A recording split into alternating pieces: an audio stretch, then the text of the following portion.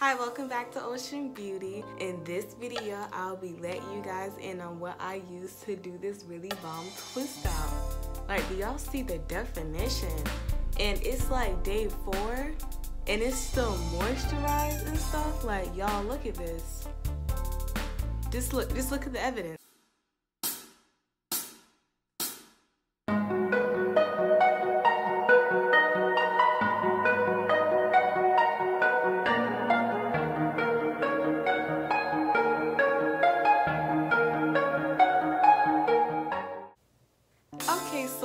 Before I tell y'all, I'm gonna give y'all 10 seconds to try to guess a line or whatever products I think I use. I'm gonna be right back in 10 seconds.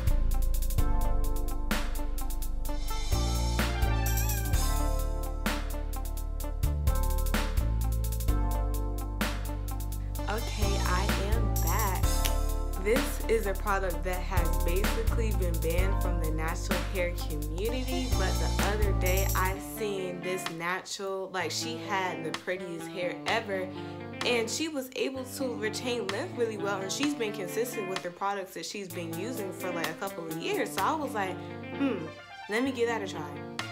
So, the moment y'all have I went back to the basics and used that blue magic on my hair. I know we said that we are moving away from grease and all of that stuff, but y'all, honestly, I feel like for type 4 hair naturals, you really need something that's going to seal in the moisture. So, before I use this, I had washed and conditioned, deep conditioned my hair and all that good stuff. And then um, I used the Garnier Fructis leave-in. I wouldn't show y'all the bottle, but I actually just ran out. But I used that leave-in, and then I use um, olive oil. I always use that. It's like a super light oil that always works good on my hair. And then the final product to seal all that in, I use you can get a lot for a pretty good price. Like I'm pretty sure y'all remember your mom sent you down or whatever, then she would use this to twist your hair or put it in some braids or something because I know my mom did. But yeah, a lot of us have shied away from this, but y'all, it really works good because this is like day four hair and the definition and the moisture is still there. And it's like, dang, spent so much money on other products that didn't give me this moisture like how this did. It's crazy. It does have like petroleum in it, and we did say like this kit clog um like the pores in your scalp, if that's what it's called, or it could clog your scalp or whatever. But I didn't even use this on my scalp. I just used it to seal my hair. The only oil that I ever really use on my scalp is Jamaican black castor oil. I've been like standing by that since before I big chop because it gives me good growth.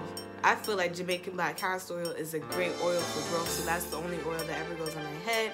The other oils um, that I would mention to you guys, I usually just use it to seal in my hair, and I usually switch between a couple, but on my scalp, Jamaican black castor oil. But maybe if you're a type 4 hair natural, you could try this out. You know, it's very, it's, it's inexpensive. It's not expensive at all. Um, smells pretty good. A little goes a long way. And my hair still feels so moisturized and it's like cold outside. Like I've been outside a couple of days in the cold with my hair out and usually like in the winter it would be so quick to dry out but y'all I was outside in 30 degree weather 30 degree weather and it is still moisturized. That's crazy. And I'm gonna blame it on this because I've used other stuff to like seal in the moisture. It would kind of do it, but it would still become so dry and frizzy. And um, I had picked this up at Walmart the other day after I seen someone else use it, and I was like, hmm, maybe I should try it out. But to track the growth that I get with this, I'm going to use this for like a month or two like strictly the um, Garnier Fructis shampoo and conditioner and leave-in, the olive oil, Jamaican black cast oil on my scalp, and this, I'm gonna stay straight to that so I can track the growth and compare it to other things. Because I really think I can get far with this if I can actually retain like the moisture. And when you can retain moisture and your hair stays moisturized you can retain length better. Like well it's pretty shrunken right now. Let me find a random it's like past APL right now.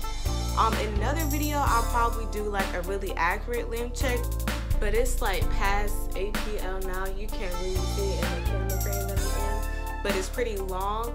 So I have a pretty good idea of exactly where it is. So I'm gonna be using all the products that I just listed for like a month or two to track the growth. But yeah, y'all should try this out it seems like a pretty good sealant because my hair is still so moisturized.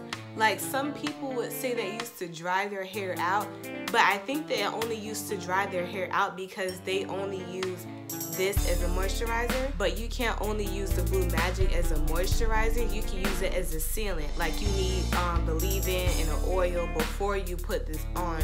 I feel like that this seals in that stuff better you cannot just use this like straight on freshly washed hair. You need a sealant. And this can be the thing that seals your hair as long as you moisturize it right. You either do the LOC method or the LCO method. Um, I'm kind of confused by the LCO method Well, actually not really because you can use an oil to seal it in too. But I like the LOC method, which is like leave-in and oil and a cream. Like I said before, the leave-in that I used was Garnier Fructis, the oil, olive oil, and then the cream, which is can be like the sealant. I just use this, and I, honestly, y'all, I feel like I just been sleeping on that like for a couple years because I think the last time I used this was like elementary school or something because we all shied away. We was like, no, petroleum's bad. Yeah, it can be bad, but I feel like if you use something like this for a sealant, that it can actually work out good for you. But just look.